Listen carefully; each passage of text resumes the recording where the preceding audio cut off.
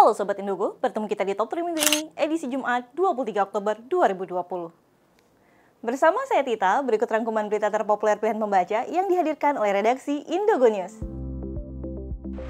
Berita pertama dibuka dengan usulan dari Kementerian Tenaga Kerja Taiwan agar biaya perekrutan dan biaya penempatan TKI yang hendak bekerja di Taiwan ditanggung oleh majikan.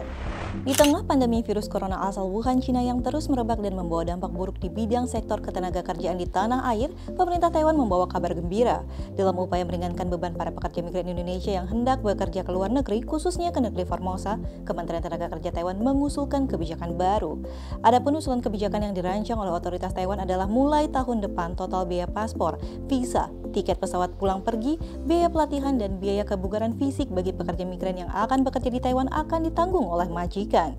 Data statistik Kementerian Tenaga Kerja Taiwan menunjukkan bahwa pada akhir September 2020 terdapat sebanyak 336.852 orang TKI yang bekerja di Taiwan yang mengambil persentase sebanyak 48% dari total pekerja migran asing yang ada di negeri Formosa. Berita kedua dilanjutkan dengan Kementerian Luar Negeri Taiwan yang kembali memperpanjang izin tinggal bagi warga negara asing yang terjebak di Taiwan akibat wabah corona. Otoritas Taiwan kembali mengumumkan perpanjangan izin tinggal bagi warga negara asing yang ada di Taiwan di tengah pandemi corona. Badan Imigrasi Taiwan kembali merilis perpanjangan izin tinggal bagi WNA yang telah mencapai batas waktu tinggal di Taiwan selama 180 hari yang menjadi batas waktu maksimal.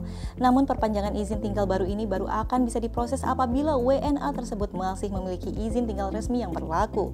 Sebelumnya Kementerian Luar Negeri Taiwan telah beberapa kali memberikan perpanjangan izin tinggal otomatis otomatis selama 30 hari kepada warga negara asing yang tidak bisa kembali ke negaranya masing-masing karena wabah virus corona.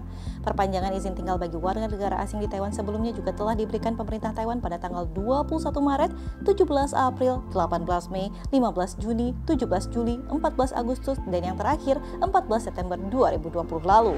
Berita ketiga yang menjadi pembicaraan hangat di kalangan TKI di Taiwan adalah pemerintah Taiwan yang didesak untuk segera mengambil langkah sigap dalam memberantas pekerja migran ilegal yang masih ber berseliweran di negeri Formosa.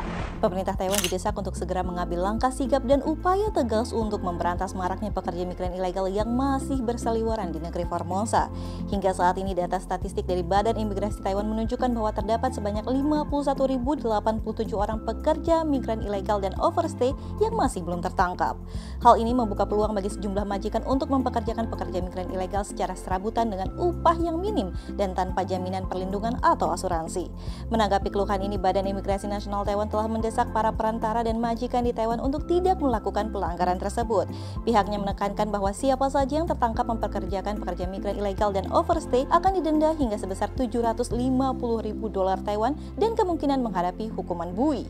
Demikian tadi rangkuman berita terpopuler pilihan pembaca yang tayang untuk top 3 minggu ini. Jangan lupa dukung kami dengan like, share, dan komen video ini ke teman-teman Terus saksikan top 3 minggu ini yang tayang setiap hari Jumat hanya di official channel Indogo.